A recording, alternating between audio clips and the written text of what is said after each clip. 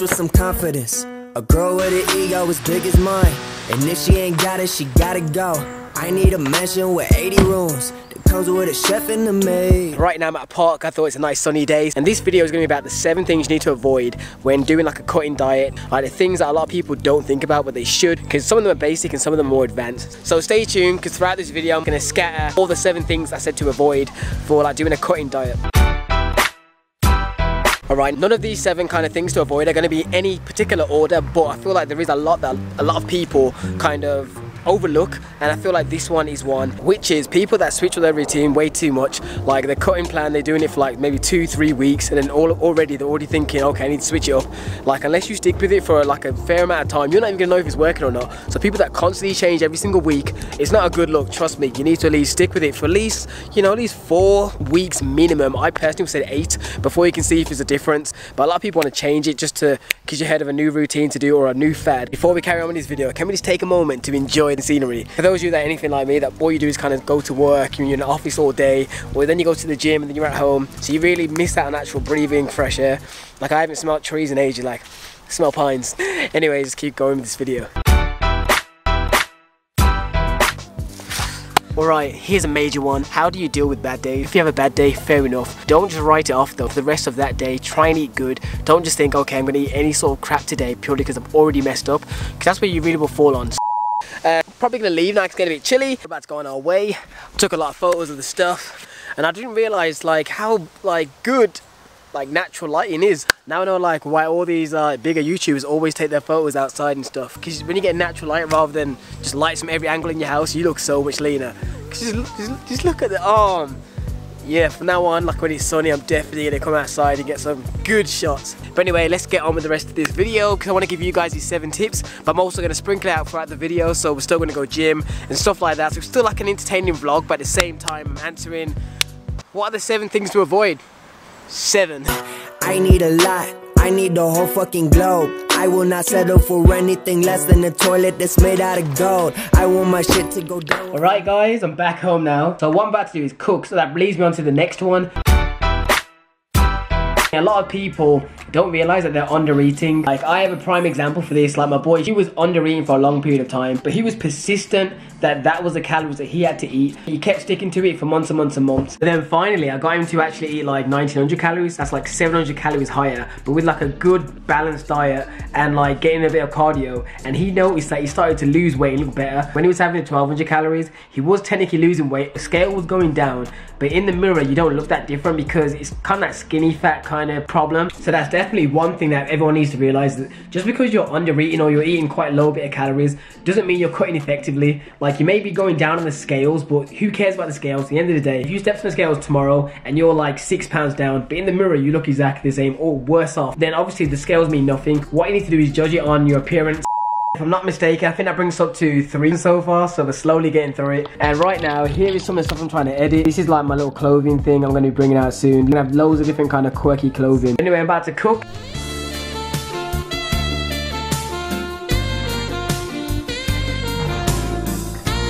Alright guys, before we carry on with the rest of the questions, let's see what I got for MyProtein. Discount code in the description box if you want anything from them. Another one of these bottles. Two of them I had broke. One of them I left at the gym and they threw it away. So I need to get another one. Other things I've got in the protein pancake mix comes super omega 3. Uh, the next thing is this vitamin B complex. For those you don't know, I have like RSI in my hand. It's called repetitive strain injury. It's from all this editing and all this computer work I've been doing over the years. Vitamin B6 and B12 really are meant to try and help. So I'm trying to think of any little thing that can help my hands because it really hurts at times. Next thing up is daily vitamins. And the last thing some peanut butter. God, it's been a busy day, man. Getting kind of sleepy now. If anything, I'll see you guys tomorrow for the rest of the oh, tips. Oh, I, I, I need the riches. I'm talking guap that allows you to burn all the bridges. I wanna flex on the bitches that me, treating me like I ain't worthy. Look, look at my numbers, they going up like the temp in the summer. Back home now from work. I'm about to go to the gym in probably about 20-30 minutes. So what I'm gonna do is do like a nice raw kind of gym session and talk you guys through it. This comes about from a comment I read in the previous video. But you mentioned like maybe adding a bit more gym clips back. I've been doing a lot of food related videos. And I do read the comments and I do know. So this is what I'm gonna do. Before I do that, I'm gonna finish off these seven tips. Let's blast through these questions. I've been making you guys wait long enough as it is. next one I'm going to talk about is believing in damn magic. And by that I mean relying on supplements to do most of the work for you. You don't know how many times in a week I get quizzed about do fat burners work or what fat burners do you think I should get. Stop trying to substitute putting in the actual work and hoping that some magic beanstalk pills will do most of it for you. Anything in life here, you have to actually put in the effort. So if you put in the actual effort and physically work hard, you will see results. Number five, don't give in to temptation. This, is like a big one you need to avoid is temptation, but specifically from relationships, whether it be a girlfriend, someone you're dating casually, or even friends. These three things for me anyway are, are hard, especially when you're like dating. A lot of the times you almost feel like you're obligated to eat out, so you end up eating something a bit like a burger. It can mess up like a good few days of progress. When realistically there is lower calorie options, you can make the choice like eat small, look at the menu option. I used to always fall into this trap, but now I'm trying to put more focus on my nutrition and my training and try and, you know, make some progress. This is another one which is very, very, very common, is assuming that all foods that contain fat are going to make you fat. Like I know a lot of people that constantly say that in their diet they have virtually no fats because they don't want to get fat. That's not necessarily true. Like, at the end of the day, it comes down to calories. Like, yeah, of the more like macronutrients is out of protein, carbs, and fats. Fats contain the most calories, yes. But that doesn't mean that all foods that contain fat are bad for you. At the end of the day, what it comes down to is not just a certain macro, not a certain protein, not a certain carb, not a certain fat. It's the total calories. Finally, before I go to the gym and take you guys with me, the number seven pretend I have an extra two fingers. Number seven is your carbs are way too low. Like a lot of people consistently just have low carbs. It can have many different impacts. When you don't have carbs, one, it's hard to get a pump. Two, you have less energy in the gym, which means your training sessions aren't going to be as optimal as they could be, which means you're going to make less progress as you would normally make. And also, it has other effects inside your body, like your metabolism, leptin levels. This is the reason why a lot of people say to have refeed days, because every so often, when you had a long period of time just cutting low calories, low carbs, your metabolism takes a hit, your metabolism slows down, and as you begin to lose weight, you're not really going to be burning as much fat as you potentially could have been. Right, and that was the whole seven things I've said that you should definitely avoid. If there's like a big major one I've missed out, be sure to let me know in the comments. But anyway, what I'm about to do now is go to the gym, so I'll see you guys in the car. No shots, I send him something that will break through his top. Can't tell me nothing, man ain't been through my blood. What is good, people? We are on the way to the, well, we're actually in the gym car park right now. Just gonna sip on a little bit of pre-workout before I go inside. In the hardest, man can send him something literally laughing. For those of my subscribers that are from the UK, yeah, who you guys with? Are you team P Money? Are you team Dot Rotten? Or K Koke? Or Nines? For me right now, the musicians that I'm on the sides of, K-Koke over Nines. I always thought K-Koke was sick. And for Dot Rotten and P Money, I prefer P Money's songs, but they're both good rappers, or lyricists I should say. It's currently 20 past 10, so it's pretty late. I felt like just not coming today so much, but I wanted to make sure I came and did my workout. Anyway, gym time.